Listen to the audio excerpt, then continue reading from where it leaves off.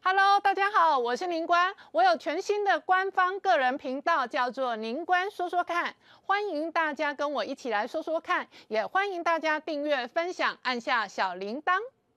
欢迎回到《年代向前看》的节目现场，大家好，我是林官，欢迎我们忠实观众跟粉丝朋友扫描 QR Code 订阅《年代向前看》YouTube 官方频道。美国大选已经进入最后关键倒数十五天，那川普在接受《华尔街日报》专访的时候，他说中国如果进入台湾，他至少要苛征关税一百五十趴到两百趴，而且他说呢，习近平会尊重他，他不需要出兵哦来保卫台湾，因为他很疯狂。好，这一回合呢？今天川普的造势呢，杀到麦当劳，他直接炸薯条打工哦。那这里头一方面在宣传跟攻防，另外一方面呢，这个几个赌盘现在都重压川普胜率哦，大幅的拉抬。那各界还追踪这里头还有神秘的巨资哦，这个在赌盘上面抽这个插花。同时呢，接连两天呢，马斯克事实上天天开讲，那未来一共在在宾州至少天天有六天的催票跟开奖，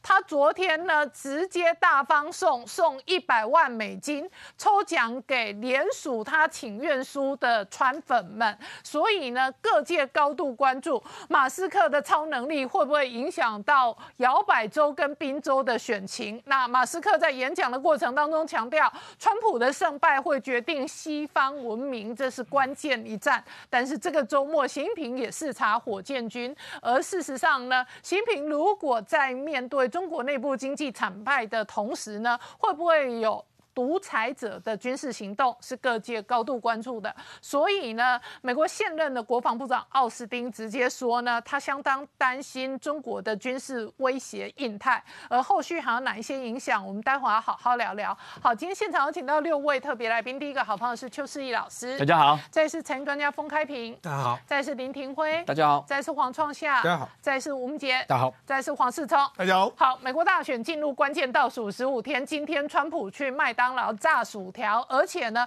他还送薯条给德来树的员工，那非常认真的演一日店员。同时呢，从昨天开始呢，马斯克准备每天抽奖送一百万美金，然后他每天在宾州开奖。那你如果去看他每一个开奖的影片，都是一个小时以上，创造了网络庞大的流量，而且他在宾州直接近距离的。跟现场的观众互动 Q&A，讨论所有美国的重大争议的现状跟议题。而昨天他直接也抽奖，直接送一百万美金。好，他的抽奖造势在网络上嗨翻了。好，黄世聪，我们刚刚看到的是马斯克造势的片段，他连续六天在宾州，天天长达哦一两个小时以上的造势，他同时天天抽奖送一百万美金，然后天天要求他的粉。粉丝赶快登记选民，赶快登记选票，然后这一个投票日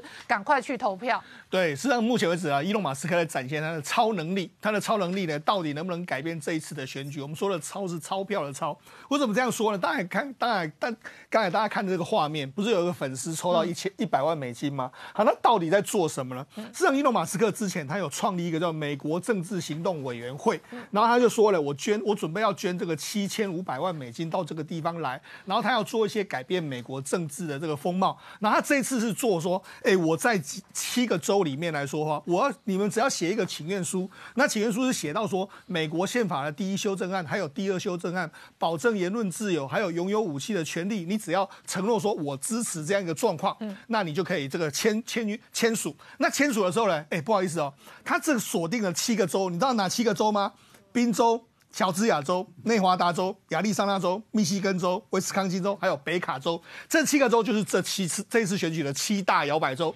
然后，它这七大摇摆州里面，你只要签名说：“哎，我同意伊隆马斯克这样一个这个情愿之后呢，那你可以获得金钱。一开始你只要签了名哦。”在宾州可以获得一百块，然后在其他州有获得四十七块美金这样一个状况。所以你，然后你签了名之后呢，不好意思，我要每天抽奖，就你只要赞成我的，我每天抽抽一个中一百万美金的，他就颁奖给你看。所以他今目前为止已经颁出了两名，第一个中奖是个男生，第二个中奖是刚才我们看到那个女生，已经颁了两名。所以大家哦，居然有。然后他准备要这样天天抽，抽到投票日，对对对，所以他会送一千多万美金的现金出去。对对对，所以他就继续送嘛，那继续送，人家就说，哇，这到底是怎么一回事啊？那你这样会不会会不会有这个干预选情选情的这个状况？当然有可能会干预，因为你看他这次挑的这七大摇摆州里面来说都是这样，而且而且他在宾州里面来说，他就是你只要签了，我就给你一百块美金这样一个状况，这是比较多的哦。那于是就引起谁？宾州州长就开始跳出来了，因为宾州州长目前为止是民主党的，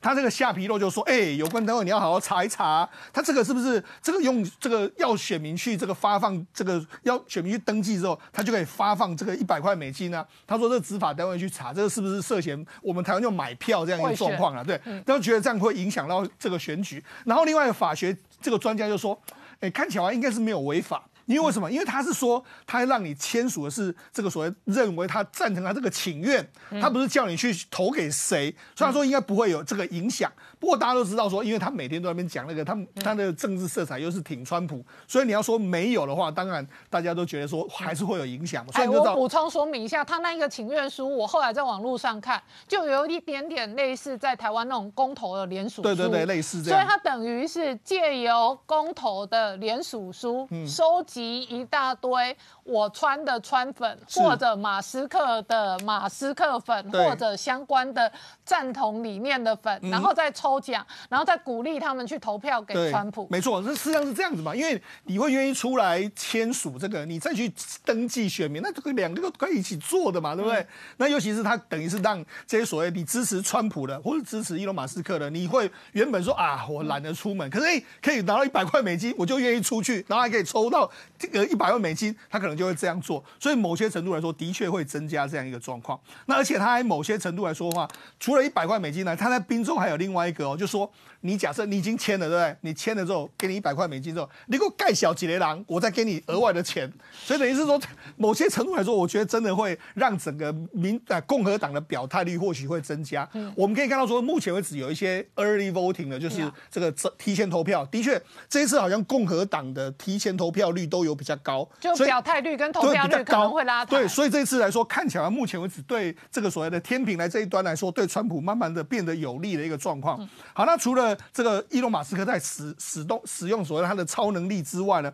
他也每天在那边讲讲非常多。譬如他这几天就讲说啊，我们一定要让这个川普当选。如果川普没有办法当选的话，这是西会决定西方文明的命运。哇，把川普跟西方文明呢完全绑在一起。然后他还讲到说，所谓的这个移民这件事情，他说，哎，我是支持移民的啊，但是目前为止呢，南方的这个边境看起来就好像是丧尸末日一样啊，所以我们要改变目前的这个这个格。局啊，那另外当然他针对枪支啊、言论自由，他讲的非常多。那另外他还讲到说啊，目前的政府太多了这个组织啊，目前有四百二十八个联邦的这个政府啊，可能会因为政府的这个太过庞大，然后就会阻碍整个美国的这个发展。然后还讲到所谓年轻人的问题啦，还有什么军事干预的问题。我觉得他他的表态，他说呢。要简化美国的外交政策，要减少对其他国家的干预，这样一个情形。好，那当当然有他的想法啦。那除了这个之外，他还讲到，因为他是汽车产业，他就说呢，在美国汽车产业现在很惨啊。他说呢，美国呢唯一没有破产的就两家，一个是福特，一个是特斯拉。那另外包括说像最近为什么会讲到这个问题？因为有一家清创公司叫 Rivian，他也是做这个电动车，他最近陷入财务危机。他就说，你看 Rivian 也是获得这个亚马逊还有福特等等的这个公司的投资，还是没办法。做到这样一个情形啊，所以他觉得说，一定只有川普才能扭转这些局面。好，那我们讲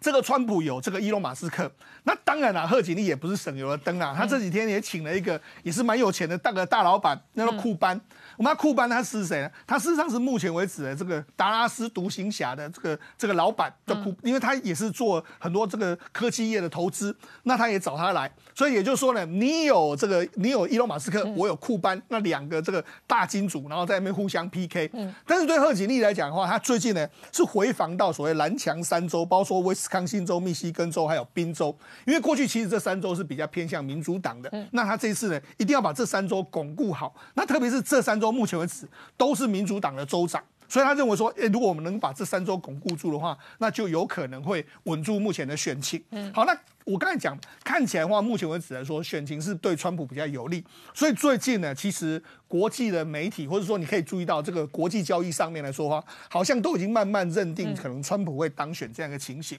好，那当然，华尔街日报就马上出来讲啊，他说，哎，假设呢，川普明年会回国的话，会有引爆所谓的全球的贸易大战的一个状况。那特别他讲到就是说。目前为止，欧洲也非常关注这件事。为什么？因为欧洲，因为川普一直在说了，我最我觉得哪一个字最漂亮？tariff 就是关税。然后他还自己说我是关税人。好，那于是呢，现在为什么欧洲非常重视呢？因为欧洲目前为止是美国最大的贸易伙伴。嗯。二零二三年的总贸易额是九千五百二十亿美金。那因为川普说了。我不是只有要对这个中国苛征六十到一百帕的关税，我可能也会对其他国家征收十帕的关税。于是，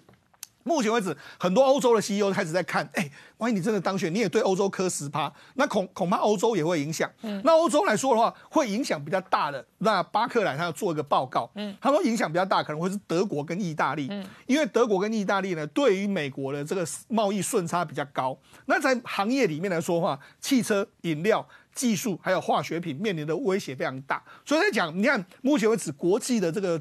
经济的这个相关的言论都已经在讲说川普当选的冲击，所以看起来话，国际的这个局势或者国际的这些所谓的研究单位也慢慢认可说，的确在这场选举里面来说，现在的胜利的这个天平是比较逐渐倒向川普这一边的这个情形。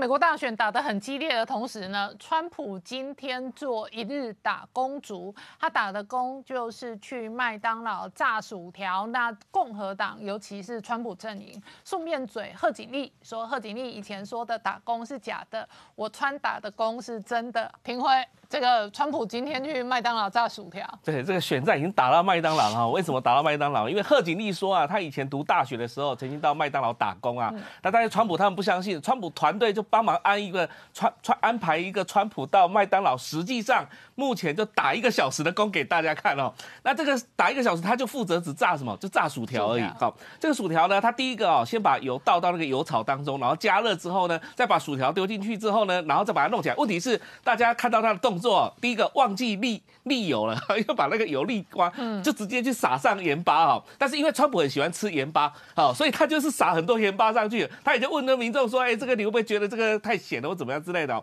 但是不管怎么样哈，这个的确哦，在宾州的这个小镇哦，Vista Villa 啊，这个地方呢，哎，这个地方我刚查了一下哦，它的人口数大概只有六千多的人口而已哦。但是你看到在卖个麦当劳外面啊。这个挤了一大堆的群众在这边观看啊，然后当然这个德莱树的这个呃消费者们，他们也是受到很大的惊吓，说哎怎么会是川普在这里现场炸薯条给大家吃？哎，这沿路通通都是川粉呢。对，都川粉。面很沿路来讲，我大概算一下，至少是将近有快一千人左右。那你说？你说六千多个这个小镇来讲的话，有一千多人在那边的，代表说其实他的这个所谓的支这个支持度还有那个呃声量是非常高的哦。那另外就是说，因为在这个呃，当然了，这个一小时来讲的话，这个所有的薯条是川普直接买单了啊，他免费送给大家吃哦。哦，那不过呢，大他他大家也觉得说，哎，这个非常惊讶，因为为什么是总统候选人亲自炸的薯条，不知道会不会比较好吃哦？但是可以看得出来，就是说一个麦当劳的议题就可以看出这个。到到底两党的之间的这个宣传作为到底怎么做？为什么这么讲呢？哈，因为川普都认为说，哎，你自自己讲说你在麦当劳打工，那事实上贺锦丽目的就是要去拉拢那个中产阶级的，或是一般的小老百姓。但是川普愿意把西装脱掉，然后到了这个热的炎热的这个厨房当中去做这件事情，就代表说我其实是亲身来做的，亲身来体验的。那你贺锦丽到底有没有做，我们也不晓得啊。因为过往你讲大学的时候，那也是几十年前的事情了，大家也没办法看到什么证据啊。那顶多是经过一个传述，或者是大家怎么讲而已。所以现在来讲的话，两边的这个不仅点是打到这个宾州的小镇了。为什么？我们刚刚不管是马斯克也好，或是川普也好，他们是重兵压在宾州。那大家会看到一个现象啊，就是说，因为贺锦丽现在也在乔治亚州，刚好川普炸薯条的时间就是贺锦丽这个什么，就是生日的那一天啊，所以他大家说，哎，这个贺锦丽生日哦，川普就说啊，其实哦，我很想送她花，但是呢，事实上我现在只能送她薯条啊，所以呢，这个他他也没有送她花，但是意思就呃把个考设计的这样子啊哈。但是重点说，贺锦丽她要凸显的这个概念呢，在宾州是不是能够炫起这个旋风呢？有一个看点了，为什么？因为 Newsweek 啊，事实上有一篇社论哈，专门在讲说这个民主党自己自食恶果。为什么说民主党自己自食恶果呢？因为他说贺锦丽其实在宾州的时候造势的时候，有一个很重要的人物，就是宾州的民主党的这个参议员叫做 Casey，Casey 没有现没有出现。然后他的说法是说开始到逐门逐户去拜票干嘛的？事实上他认为不是这样子，因为他认为说你。贺锦丽其实，在滨州的那种大家的耳传的这个做法，好像不是那么好，所以其实 Casey 很怕被他被他伤害到，所以这个很多民主党的这个所谓的参议员或众议员，事实上是没有没有出来支持贺锦丽的。那他们认为说，被贺锦丽的这个声势来讲的话，会影响到他的这个连这个参议员跟众议员的选情嘛？因为大家知道说，不是只有选总统而已啊，美国这一次十一月五号选举也是选国会啊，所以这这个时候呢。大家看到一个看点，就是说，那为什么那么多的人都跳出来支持川普？为什么有些这个自己的民主党的参议员或者是众议员自己都龟缩进去呢？还有一件事情就是说，你贺锦丽不断的一直在打两个议题，一个是堕胎议题，一个就是一月六号这个冲进国会的这些议题。但是事实上，川普一直在问你一个问题，就是经济问题。通膨问题、移民问题跟犯罪问题这四个东西来讲的话，你完全没办法转移民众的焦点。所以到最后这个选战来讲的话，大家还在问这个四个重大问题的时候，你贺锦丽完全无所作为，也不知道该怎么办的时候，这时候呢，大家都会把这个所谓的焦点就转移到川普这边来。所以其实在这个摇摆州，不管是宾州、乔治亚州、威斯康星州等等来讲的话，现在包包含民调或者是相关的。呃，我们讲说，呃，赌赌未来事件的这些数据赌盘了哈，那基本上都是导向川普比较多哦，所以看起来目前来讲，川普的声势是如坐上不断的一直在往上涨。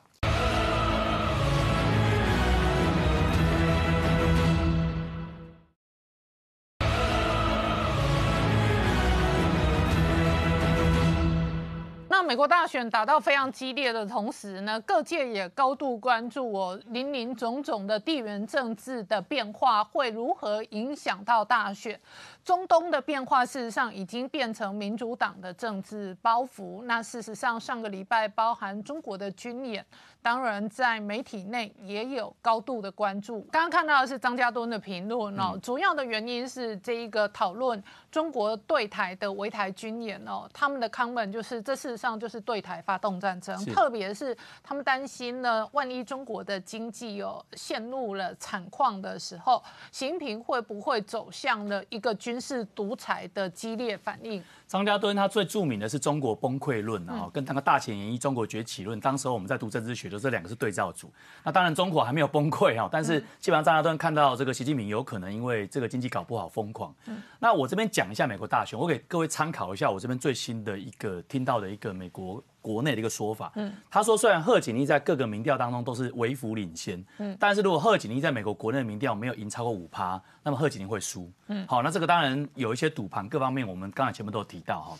好，那我来提一下哦，其实这一次川普他接受《华尔街日报》的这个呃访问，那《华尔街日报》访问完之后，他给他一个评价，什么评价？他说，其实川普为什么有时候会对习近平、对这个呃呃普京有时候好像讲好话，有讲坏话？他们称叫做平衡式外交啦，就是川普跟独裁者交往之前，他会先讲丑话，好，所以《华尔街日报》的这个编辑群就就写了一个文章，他说他其实在霸凌跟讨好独裁者之间摆荡。好，那他主要是要能够去建立他个人的权威，好让这个独裁者知道说他的底线在哪，你踩到的话，我就重重的扁你一顿这样子哦。所以我的评论就是军威难测，其实是川普一直以来的一个方式哈。那另外呢，这个社论版的这个主编叫吉加特，他也说，你能不能够告诉习近平不要去这个打台湾，不要去封锁台湾？川普怎么说？这么说很简单哈，我跟习近平很好稳固的关系，事实上我们以前很好。那我不想说我们是朋友，因为我不想听起来很像很愚蠢。可是呢，习近平曾经跟我是好朋，呃，曾经相处的不错。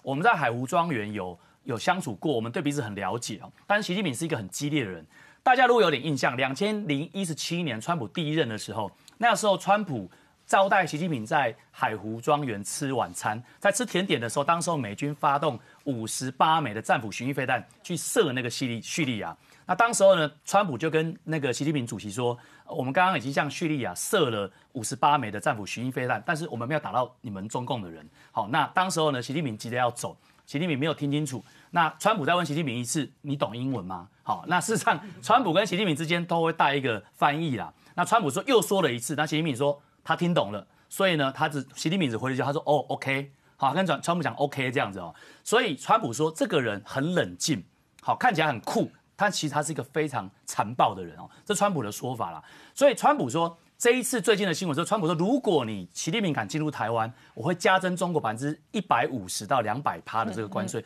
其实这个一般来讲，我们看俄罗斯去入侵那个呃呃乌克兰，其实就是就是经济制裁的概念啊，其实不是很特别概念。可是川普他会用比较夸张的语言哦来去恫吓哦。那所以呢，川普在泽伦斯基这一块，我们讲到乌俄战争，他就认为说泽伦斯基真的是最好的一个推销员。每次来美国，他就拿走美国一千亿的美元。他没有看过谁这么会推销的哦。那当然，当然，川普也讲，他说不是我不要去帮助乌克兰这些人，而是因为这边的人哦，真的是因为泽伦斯基要负这个责任。换言之，其实川普要泽伦斯基跟普京来做谈判。所以华华尔街日报就有一个标题非常酸，他说如果以色列真的听拜登的话。哈马斯的领袖那个辛瓦就死掉之前还用那个棍子丢那个空拍机的嘛哈，说他还会再活着哈。事实上，辛瓦十七日就被干掉了嘛哈。那我们讲到贺锦丽这一块，贺锦丽说，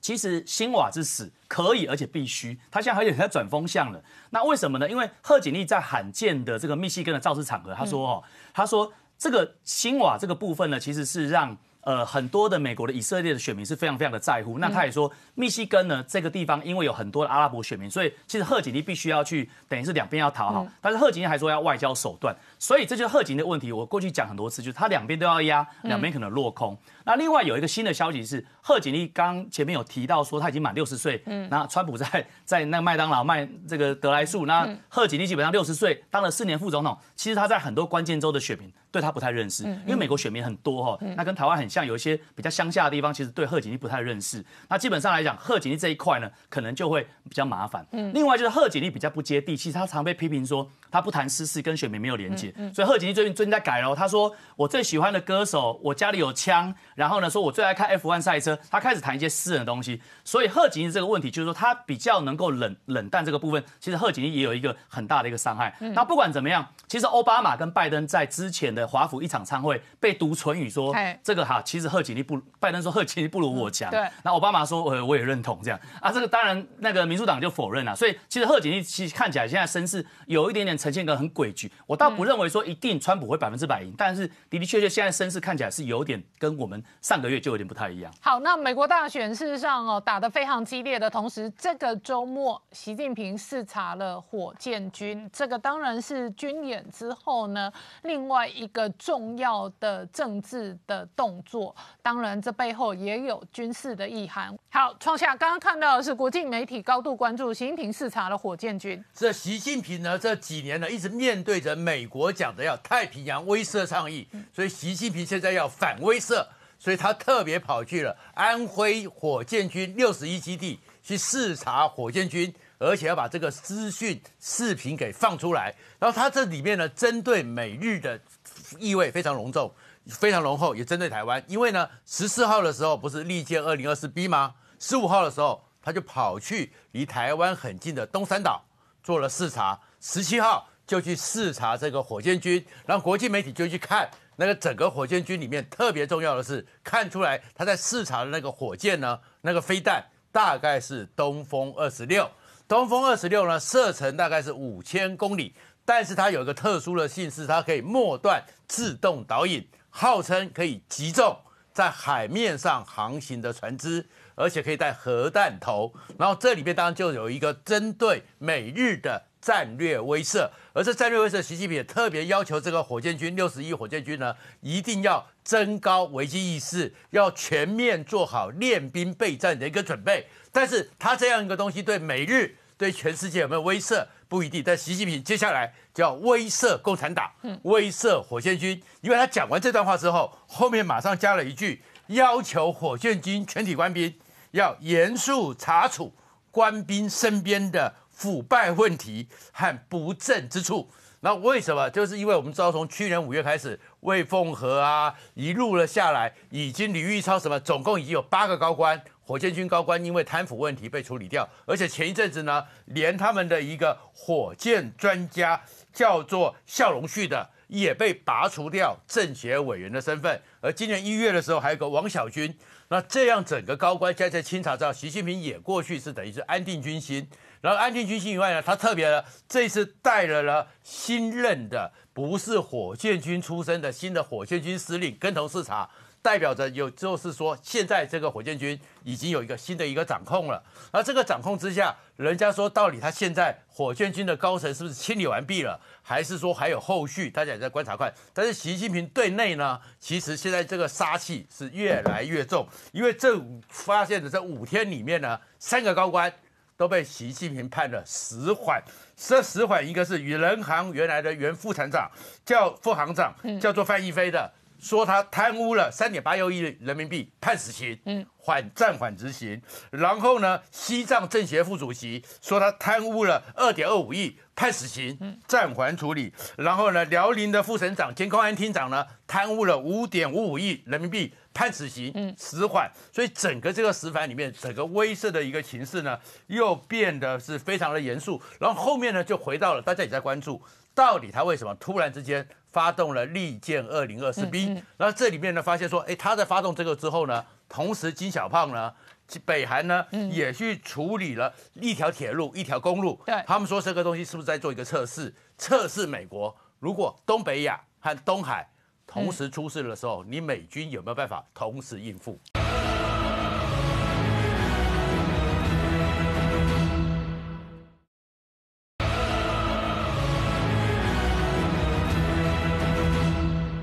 确实，习近平视察火箭军呢，引来各界高度关注的同时呢，美国现任国防部长奥斯汀事实上也警告中国，对于印太国家存在着严重的军事威胁。好，明姐，我们刚刚看到的是美国现任的国防部长奥斯汀哦，针对中国军事威胁印太国家的公开谈话。对，刚刚这个美国国防部长奥斯汀哦，他发言的场合是在意大利哦，那举行的 G7 啊，其他工业国的防长会议哦，那其实。会后发表一个联合声明哦，那共同不止关切啊，那在十月十四号，中共在台海的这个挑衅的军演之外哦，那也全面来反对中国阻止啊，那这一个呃国际，那不管是从东海、南海，甚至到台海的这个自由航行，那这个 G7 的这一个联合声明不是说说而已，动作马上就到啊，因为我们看到今天马上就有美国跟加拿大啊两艘军舰联合穿越台海，就在呼应这个会议哦，就是要维护台海的这一个国际。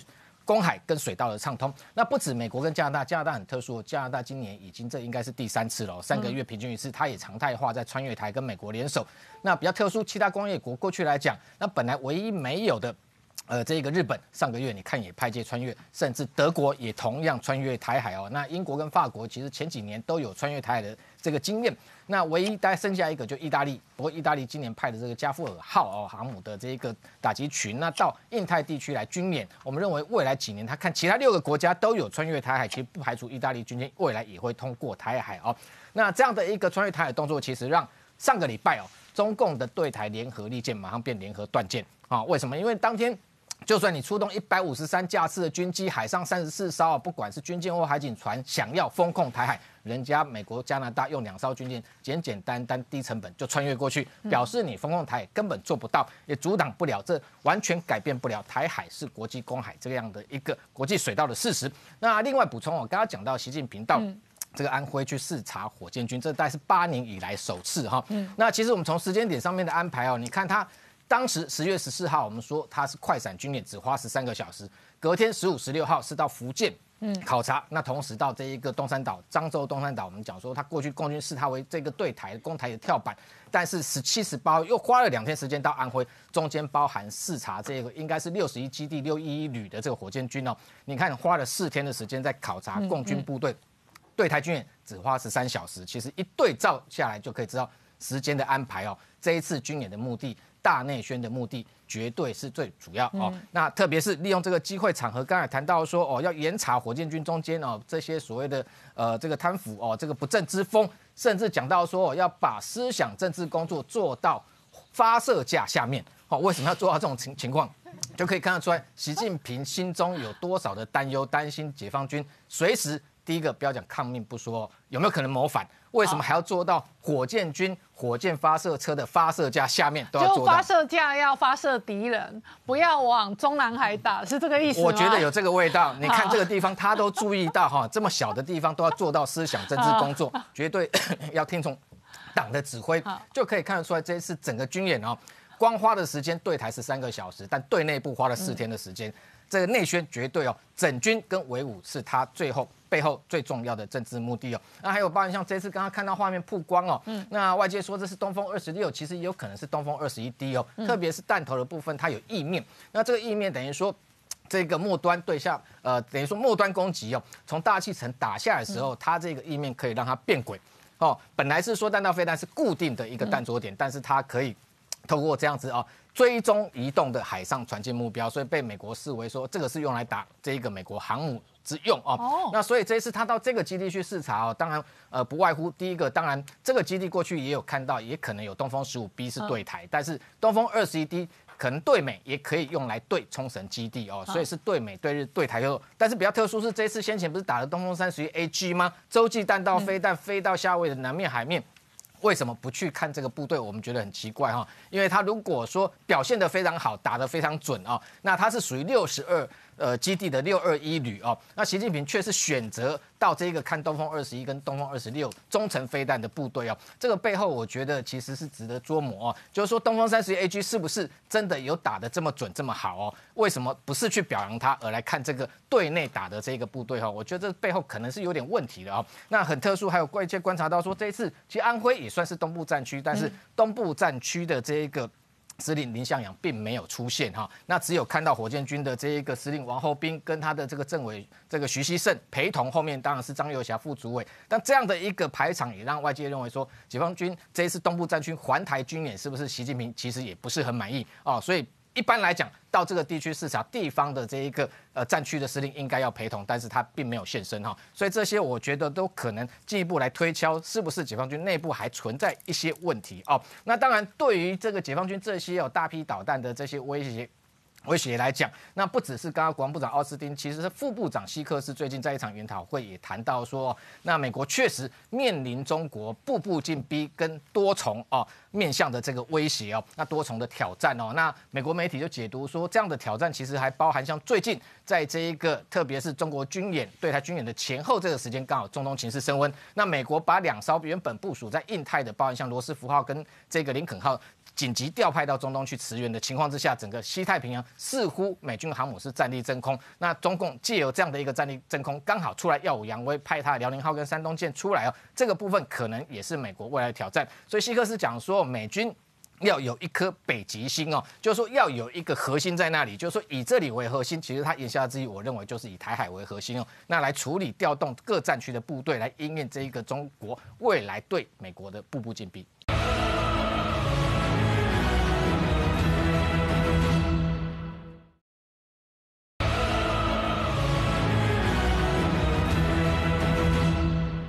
界高度关注我，在美国大选之前，地缘政治的军事风险还会如何变化的同时呢？事实上呢，金融市场也传出来，拜登的白宫团队可能针对中国的 AI 再度进行科技的封杀。然而，AI 大战在美国事实上也打得如火如荼。现在看起来一枝独秀的是辉达，而紧追在后的是 MD。好，这个我们刚刚看到的是 MD 的数字峰哦。那他出来讲整个 AI 未来的前景跟发展哦，那我请教封开平啊，现在黄仁勋、苏之峰、魏哲嘉都看 AI 看得非常好，然后呢，台积电今天事实上是要挑战一千一的整数的历史关卡，哎，可是 AI 会不会只好到大咖，小咖都分不到羹？没有这个是这样子的，那个在现实生活里面，在军事啊、地缘政治都在对抗、合纵连横。没有想到在我们 AI 产业里面也是如此。我们其实我们这样常在业界我们在笑说，这个地表上最强的投顾老师叫做黄仁勋，最强的投顾叫做台积电。你看黄仁勋他前两天他说了一句话：AI 的本质就是机器人，机器人休息好久，突然间嘣一声，全部都是只要跟那个机器人相关的，台湾这个做零组件的，全部都是大涨涨停板。还有台积电那个上个礼拜反而说好到爆表，可是台积电一个动作，让原来涨了两个礼拜的一个族群叫做细光子。就戛然而止休息了，这两天就休息，为什么？因为台积电都没有提到西光子，因为那是未来式。然后他提到就是两纳米的需求好到让他很讶异，就是说结果造成怎么样？两纳米因为需要一个，它是需要两纳米，它那个线距比较密集，需要。正面原来晶圆是正面，就是把讯号跟电源放在一起。对，它把它把要把电源放在背面，叫做背面供电。对，那背面供电要做晶圆薄化，所以说今天只要沾上什么背面供电、晶圆薄化的，都是因为这个所谓的一个测 两纳米好的不得了。对对，就是这句话，哇，这个整个都起来。所以大家可可以看出来，大家对 AI 的一个认同性。那当然，尤其是在这个事，这个现在的竞争区这么激烈，也造成了合纵连，大家很难想，其实包括我都很难想象。大家知道吗？像譬如说华仁勋的 NVIDIA，它是做那个 GPU，它是从 GPU 衍生到很巨大、强大功能的 AI 晶片。可是呢，像传统我们说叉八六架构是从这个所谓的一个 Intel，对，我们常常做笔电什么东西，Intel Inside，对不对？以前我在年轻的时候，我我年轻的时候我还觉得，哎，Intel Inside 比较好，哎，后来以后觉得 AMD 好像也不错。嗯，那 AMD 跟 Intel 是同时有做 CPU，又有做 GPU，可是他们在这个地方，他们。曾几何时，竟然想到说他们的霸主地位竟然被黄仁勋威胁到了，而且是不是来自于 CPU？所以他们现在竟然两个是竞争对手。以前 Intel 跟 AMD 两个是竞争对手，他们两个要合作起来做什么？做叉叉八六联盟。那有人就说，所以他们以前是死对头。对。但是现在有一个更大的、强大的敌人叫黄仁勋，所以这两个死对头现在准备要合作。而且黄仁勋很多年以前他不是要去吃那个暗吗？后来被那个托拉斯把他把他打下来，把他挡下来了嘛。如果黄仁勋那时候把暗吃掉，那还得了？那个不是现在不是更强？那因为 ARM 架构是这样，ARM 就是像我们用在这个所谓行动装置等等啊，哦，就是说它的系统是不一样的。就是 ARM 它是说，呃，简单用白话文讲，就是它比较省电，它功能性效率高，还有一个很重要，它很容易让设计我们说什么 APP 也在这个平台架构。但是叉八六架构就不一样，叉八六就是做呃就是所谓的一个逻辑执行。那可是黄仁勋听到说，哎，人家问他说这样子他们是不是来针对你？黄仁勋也在笑啊，因为毕竟叉八六也是现在。也是架构，也是最主要的一个。我们现在不管你在伺服器上面，也是很重要的架构。所以说呢，其实在这里来讲的话，就是说你可以感觉出来，就是说那个局势一直在变。那黄其实哦，就是像这个呃呃美美说美这个美国也一一直在这个抵制中国大陆，他也在呃关注中国大陆的发展。你看啊，最近美国的有好几个不同这两两派的议员。十五个议员呐，就是这个民主党跟共和党一一起联署，就说要施压日本，因为他们还甚至点名之前有艾斯摩尔，他们有怀疑传，现在要点点名东京威力科创，呃，他们认为说偷偷卖机，对对，他们偷偷卖机，甚至于啊很好笑，最近有两个情况，就是说像华为，大家知道，我们这大家知道中国大陆很喜欢那个大内宣嘛，华为就强强调自己晶片的效能啊，像小米也是强调自己晶片效能，哎，就最近呢。这个有一个什么呃，北京卫视啊，北京市经济经济资讯化局总经济师唐建国宣布说，我们这个小米三纳米啊试产成功，流片就是试产了，就可以上。看哇，这句话不讲还没关系，一讲的时候，哎，引起美国的注意。那就说之前美国就在这个叮咛叮，最近不是有个消息吗？在叮那个所谓台积电说，你是不是有在卖卖晶片给这个华为？哦，华为宣称他们，那台积电就出来否认对。其实台积电，我相信他不会这这样做。可是美国就美国的意思说，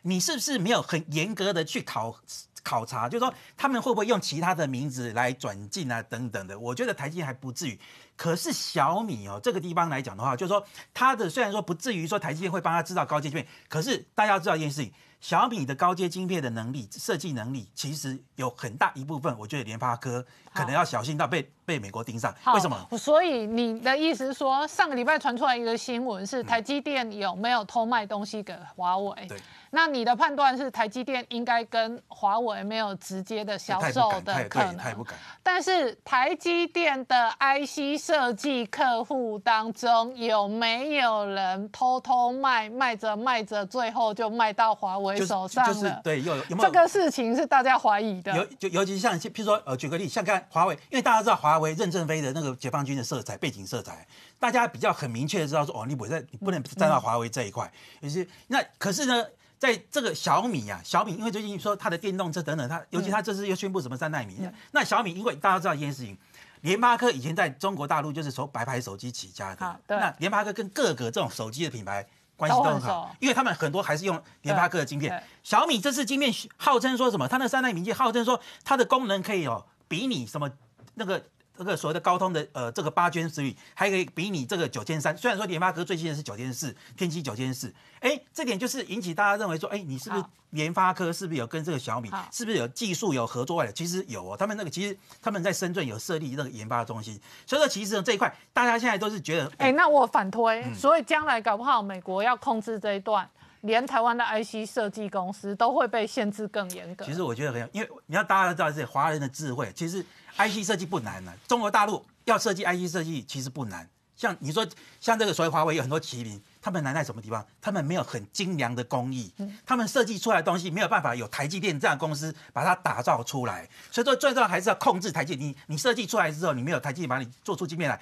他们只能用什么小晶片模组来比你。可是重点是在什么？你那个制造，谁能够把东西制造出来？台积电，美国一定要掐住台积电。美国也警告说，哎，你如果让我发现你跟华为有。这个，嗯，这个什么，这个暗，这个暗中有往来的话，暗通款，对，暗通款曲，我就要把你罚，甚甚至于罚款之外，甚至于专利的技术，我可能都要掐掐住。好，我们拉回来讲，就是说，其实在这个地方，台积电上个礼拜大家可以看出来，台积电的一个制造能力哦，就是真的是非常的厉害，尤其是你看它。台积电他笑着说：“我们再怎么拼呢，我们也比不过他某一家哈，就是 I，就是说某一家这个 AI 的龙头，它只 NVIDIA 对 NVIDIA 它是毛利率七十五趴嘛，台积电快要六十趴了。可是台积电的这个所谓的营业利率有大概也有四十，有快要五十趴。嗯，所以台积电目前还是无敌手，甚至于连三星，三星在德州厂最近出了一个包，什么包？就是他弄了一个，他在美国说我要设计德州厂，结果呢，他拿不到大客户，他就把爱斯摩的这个设备订单把它退回去了。对。对我们台积电是爱斯摩拜托他说，哎，我那个超级那个